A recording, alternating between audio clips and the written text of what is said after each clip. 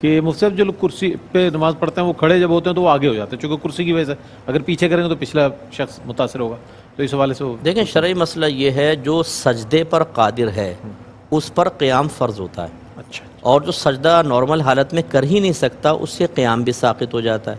लिहाजा ये कुर्सी पर बैठ कर ही तकबीर लगाएँ खड़े होकर लगाना इनके लिए हाजत ज़रूरत नहीं है। अगर सजदा नहीं कर सकते तो। अच्छा और अगर सजदा कर सकते हैं तो फिर ये खड़े होकर लगाएँगे। थोड़ा सा आगे भी हों तो कोई मसला नहीं है।